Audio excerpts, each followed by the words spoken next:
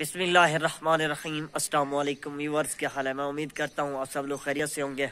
अल्लाह पाक आप लोगों को बहुत सारी खुशियाँ नसीब करें। तो आज तीसरा दिन है ईद का लास्ट। तो तमाम बहन भाइयों को मेरी तरफ़ से ईद मुबारक। और आज मैं जा रहा हूँ नानो जान की दवाई लेने। और उनके लिए मैंने कुछ घर में स्पेशल बनवाया था, वो भी साथ लेके जा रहा हूँ। और जो फ़र्स्ट टाइम मैं गया हुआ था, मैं एहसान भाई के घर, क्योंकि आज उनकी दादी की कुरान खानी थी तो वहाँ पर गया।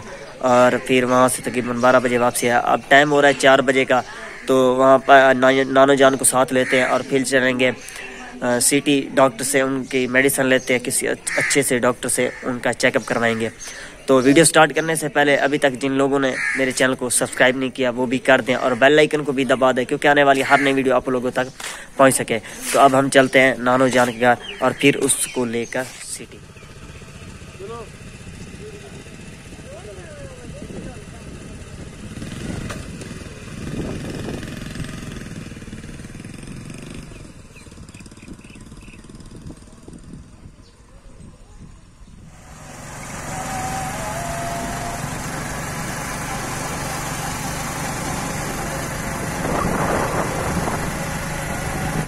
तो अल्हम्दुलिल्लाह से मैं नानो जान की मेडिसन लेकर डॉक्टर से चेकअप करवा कर आ गया हूँ घर।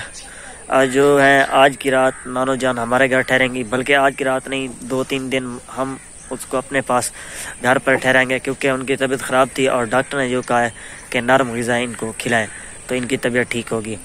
तो क्योंकि घर में वहाँ पर इतना हर कोई अपने काम में बिज़ी होता है तो इसलिए हमेशा माँ बाप का ख्याल तो उनकी अपनी बेटियाँ ही रखती हैं। और औलाद को जब उनकी शादी हो जाए, आप लोगों को तो पता है, वो जिस तरह से ख्याल रखते हैं।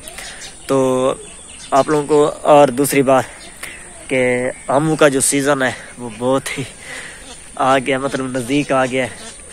तो ये देखें अब पकने के जो है, करीब हैं, ये माशाल्लाह से देख सकते हैं। ये काम है। तो बाकी उधर ठहरे हुए हैं। तो और जब मैं डॉक्टर से चेक करवा कर घर आया तो इधर देखा तो अबू जान काम कर रहे थे थोड़ा बहुत, उनके साथ काम में हाथ बटा दिया। तो फिर नमाज़ पढ़ के, नमाज़ पढ़ कर अभी आया। मैंने सोचा कि अपनी वीडियो का एंड यहीं पर ही कर देते हैं। तो मैं आज की अपनी वीडियो का एंड करता हूँ। इंशाल्लाह कल मिलेंगे एक न्यू और ताज़ा वीडियो के साथ। हमें इजाज़त दीजिएगा। अल्लाह हाफिज़।